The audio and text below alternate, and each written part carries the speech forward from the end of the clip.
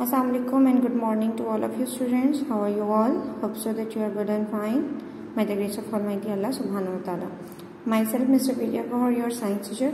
Well students, in the previous lecture we have discussed the topic of gravity with you and we have actually, we were discussing the force and its type in which uh, we have discussed the gravity.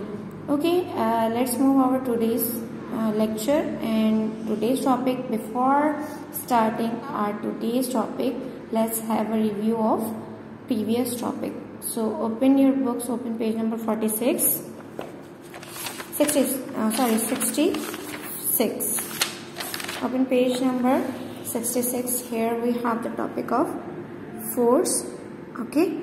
Force uh, what force is? Force is the capability to do work and how many kinds of force. There are many types of force but few are given here in which gravity push pull friction air resistance and upthrust is in your book in the previous lecture we have discussed the gravity. What gravity is? Gravity is a force that pull everything to the center of the earth. It is discovered by the scientist english scientist uh, whose name is uh, newton. It is discovered by newton and how it is discovered when he was sitting under the apple tree the apple fall on his head and he thought why apple fall on the earth why it does not uh, didn't float why it didn't float वो float नहीं किया ठीक है तो उससे उसने discover की gravity को ओके okay, ग्रेविटी क्या करती है हमें इस काबिल बनाती है कि हम वॉक कर सकें मूव कर सकें अर्थ पर अगर ग्रेविटी एबसेंट होती तो हम अर्थ पर नहीं चल सकते थे। देखिए, आपके मून पर ग्रेविटी नहीं है, इसलिए everything will is float on moon okay is floating on moon हर चीज़ फ्लोट कर रही है मून पर, कुछ भी है, वो फ्लोट करेगा मून पर because there is no gravity on moon okay आप जो वेट फील करते हो, वो ड्यू टू ग्रेविटी होती है, क्योंकि आप जो चीज़ उठाते हो अपनी तरफ़ जितना वो है मतलब आप उठाओगे वेट आप like uh, here you have given the example of bags of bag full of books if you pick up a bag the gravity pull that bag towards its center जिसकी वजह से आप अपने हैंड और arm पर क्या feel करोगे force feel करोगे उसका वेट फील करोगे okay now our today's uh, topic is push and pull and friction today we will cover two types of force that is push and pull and friction okay जब भी आपको किसी चीज़ को move करना होता है तो आप क्या करते हो? पुश करते हो या पुल करते हो? ठीक है? अपनी प्लेस से। हटाना होता है तो पुश करते हो और अगर अपनी तरफ़ लेकर आना होता है तो पुल करते हो। ठीक है? आई एम गना रीड मैं रीडिंग करने लगी हूँ so watch carefully some time when we want to move things बाज अक्सर जब हमें सम टाइम अक्सर, बाज़ हमें क्या करना होता है? When we want to move things जब हमें चीज़ें मूव करनी होती हैं वी पुश और पुल दम हम उसे पुश करते हैं या पुल करते हैं। वैन वी पुश थिंग्स जब हम चीज़ों को पुश करते हैं वी मूव दैम अवे हम उन्हें अपने से दूर करते हैं फ्रॉम अस मतलब खुद से दूर करते हैं पुश करना। And when we pull things we move them towards our self और जब हम चीज़ें पुश करते हैं उसे हम पुल करते हैं सॉरी उसे हम अपनी तरफ़ खींचते हैं। लाइक like, आप अगर बैंक के डोर पर या फिर आप मॉल्स वगैरह में जाते हो तो वहाँ पर ग्लास डोर के ऊपर पुश और पुल लिखा होता है। तो जब पुश लिखा होता है, इसका मतलब है अंदर की तरफ़ धकेलना है, आप उसे अपनी तरफ़ से दूर लेकर जाते हो तो डोर ओपन होता है। और अगर आपने बाहर निकलना होता है तो उस पर लिखा होता है पुल यानी कि अपनी तरफ़ खेचिए तो डोर ओपन होगा। ठीक है? तो आपकी तरफ़ मूव करता है, आप अपनी तरफ़ मूव करके उसे ओपन करते हो। Most heavy things are hard to push ज़्यादातर जो बहुत ज़्यादा हैवी थिंग्स होती हैं उन्हें मुश्किल होता है पुश करना.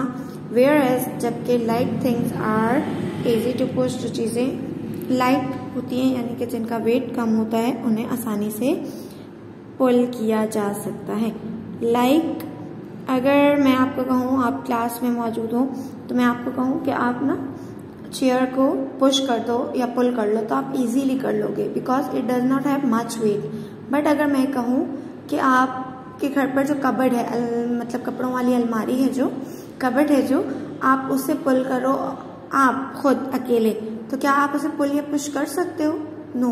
अगर करोगे भी तो वो अपनी प्लेस से नहीं हिलेगी। क्यों? क्योंकि उसका वेट ज़्यादा है। So it is easy to push और pull a light weight object as compare to a heavy weight object okay push and pull is that type of force which you use in daily life आप अपनी daily life में बहुत ज़्यादा use करते हो। किसी चीज़ को पुश कर लिया, किसी चीज़ को पुल कर लिया, कोई चीज़ रास्ते में आ रही है, उसे हटा दिया पुश करके, कोई चीज़ दूर जा रही है, उसे पुल करके खींच लिया। This is commonly use force आप अपने, अगर फोकस करेंगे तो आप डेली लाइफ में बहुत ज़्यादा ये फोर्स यूज़ करते हैं।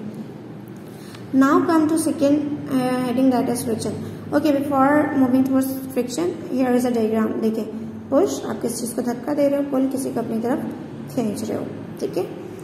Friction you will find friction everywhere आपको हर जगह फ्रिक्शन नज़र आएगी when objects come into contact with each other. जब दो ऑब्जेक्ट्स आपस में कांटेक्ट होंगे कांटेक्ट में होंगे तो आपको वहाँ फ्रिक्शन मिलेगी, ठीक है?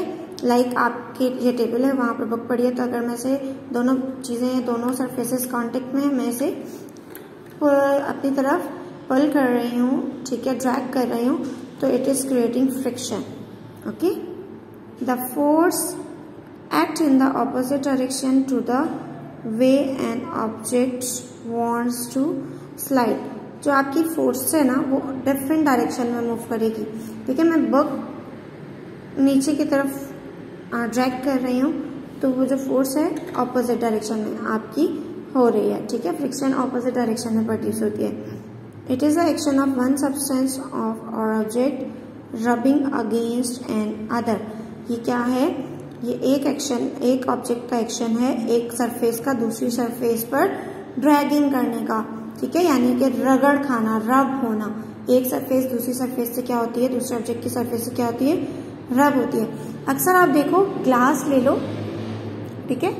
ग्लास का कोई भी विंडो ग्लास ले लें, आप उसके ऊपर स्टोन रख के रब करेंगे तो आपको स्क्रैचेस पड़ जाएँगे। क्यों पड़ेंगे वो स्क्रैचेस आपको पता, कैसे पता चलेगा वो रबिंग पर रबिंग फोर्स है। अब है आपको मैं आज जस्ट ये नहीं कह रही कि वो फ्रिक्शन प्रोड्यूस हो रही है मैं जस्ट ये बता रही हूँ कि इसका प्रूफ है कि वो दो सरफेसेस आपस में रब हो रही हैं, तभी आपके ग्लास पर स्क्रैच पड़ जाता है। A car needs to stop अगर कार को रुकने की ज़रूरत है एट अ स्टॉप साइन जहाँ पर उसे सिग्नल स्टॉप साइन पर अगर उसे रुकना है इट्स स्लो वो हल्की होगी because of the friction friction की वजह से between the brakes and the wheel wheel और ब्रेक्स की दरमियान फ्रिक्शन की वजह से आपकी कार स्लो डाउन होगी।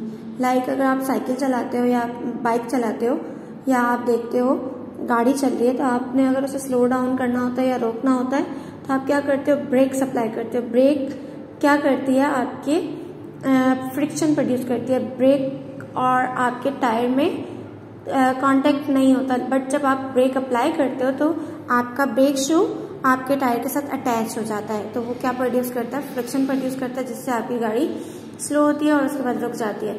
आप बहुत ज़्यादा फास्ट गाड़ी चला रहे हो तो एकदम से फुल ब्रेक्स नहीं लगाते आप पहले उसे स्लो डाउन करते हो स्लाइट फ्रिक्शन प्रोड्यूस करके। और जब आपकी गाड़ी स्लो डाउन हो जाती है तो फिर आप फुल उसे स्टॉप करते हो। ऐसा ही है कंफर्म कर लीजिएगा।